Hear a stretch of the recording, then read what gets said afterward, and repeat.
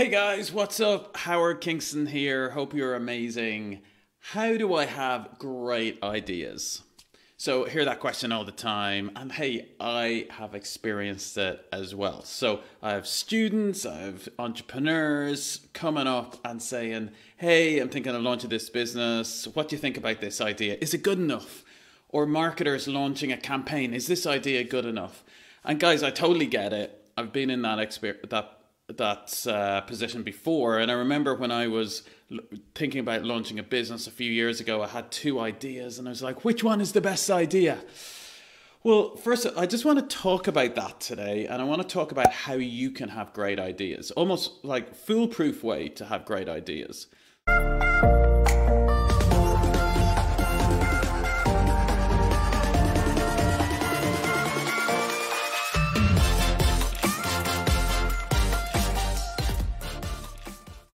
First thing I need to talk about is talk about a myth, the, what is not true.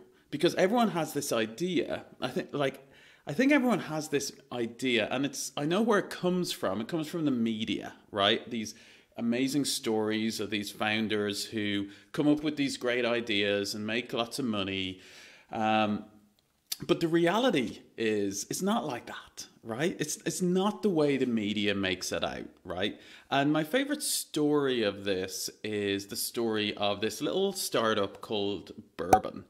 Burbn was launched a few years ago in the US, and this guy Kevin had this idea for a app, and essentially it was like you check in, uh, you check in to a location. It was like a location check-in app, and whenever you checked in somewhere, it told all your friends you were in that location and then you could come and hang out in that area, right, with them, right? And there's lots of different apps out there like that. You've probably heard of some yourself. Uh, one of the biggest famous ones was Foursquare, right? And at this point, when Kevin was launching his app, Foursquare was already on the market hundreds of millions of users. All right. But Kevin's idea was like, well, listen, I'm going to do something like that, but I'm going to have lots of features attached to it. So in Burbn, his idea would be you could check into a location and you could, you know, buy virtual items there and you could send virtual items to people and you could, um, you know, take a photo of things and put a filter on it and loads of stuff like that. And this was the idea of Burbn, right? Now, there was a problem, all right? A few months in, Kevin found that he didn't have many customers, right? He had only a couple of thousand customers and he started running out of money.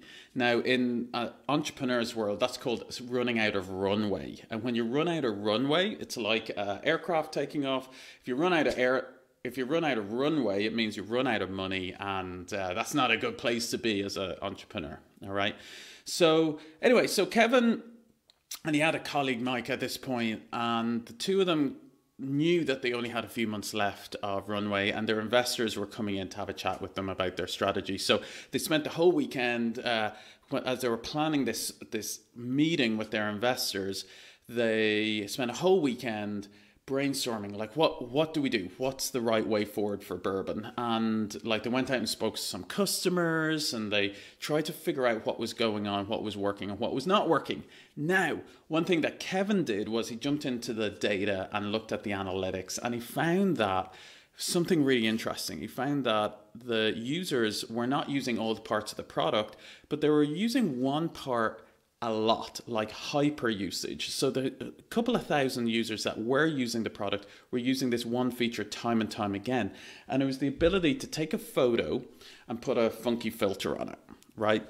And they weren't, oh, interesting. That was like, you know, just a bit of a throwaway uh, feature they put into it. Anyway, they spent the next day or two putting together this strategy. And at the end of the weekend, they, decided, they had this new strategy chosen and it included a pivot. Now, a pivot, those of you who follow the world of like lean startup methodology and stuff will know it comes from the world of basketball. Think of a basketball player running down the court, and the way they, they change direction is they keep one foot on the ground and then they change direction. Okay, and that's called a pivot.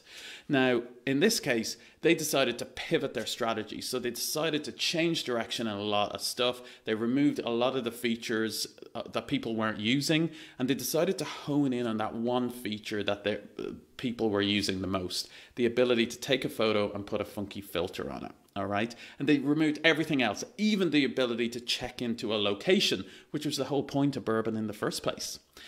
And guess what? They also decided to change the name. And they changed the name to Instagram.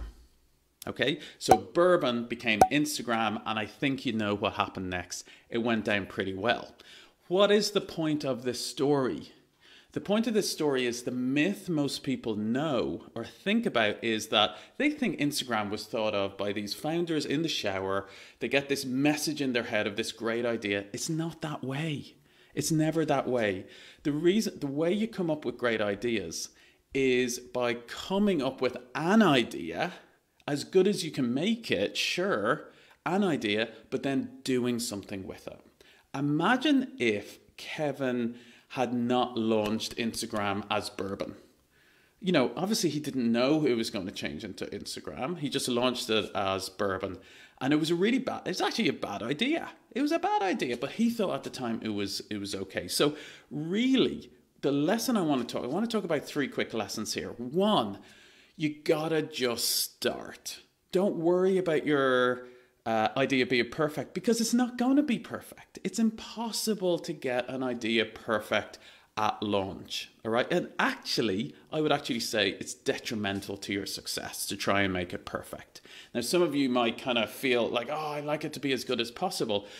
But think of this there's a famous saying in Silicon Valley from Reid Hoffman, who's the founder of LinkedIn. And he famously says that if you haven't launched the first version of your product early enough that you are embarrassed about it, so you should actually be embarrassed by your first version of your product. If you haven't, it means that you haven't launched it early enough. You've waited too long. So just think about that. The founder LinkedIn telling you that, and it's exactly the, the point uh, that happened. Think about it. That's what happened with Instagram. So point one is launch it early. Point two is realize that the reason you're not launching it yet, you just got to name it, guys. The reason you haven't is because you're afraid. You're afraid of what people think. You're afraid it's not good enough. And you got to just name that beast, and it's fear. So you got to just be prepared to get it out there, get early feedback, and then make it better over time. That's what Burbn and Instagram did. And finally, guys, the third little point here is if you're finding it's too much pressure, you go, oh, how do I come up with this great idea? Just what I always love to think about things is whenever I'm launching something new, whenever I'm changing career, whenever I'm launching a new product, rather than thinking this is my new career, you know, kind of direction for life, which feels a lot of pressure. Oh, God, I better get this right. What if you just thought about it as an experiment? And you go, you know what? I think right now, based on all my you know data and my my thoughts and my ideas, I think this is a good idea right now. So I'm going to experiment, and I'm going to run an experiment for the next 90 days. And let's see at the end of the 90 days how it goes. So let's say you're deciding to launch a business, all right? What if you decide to go, okay, I think this is a good idea. I'm going to go for it for 90 days. And then let's see at the end, end of the 90 days how it goes. And then at the end of the 90 days, I'll either know this is, I get some data in, this is either going well and I'll continue it, or I might decide I hate it or it sucks and I'll stop it. And the nice thing about an experiment is that, guess what? You're in a win win because an experiment every single way, you're going to learn something, aren't you?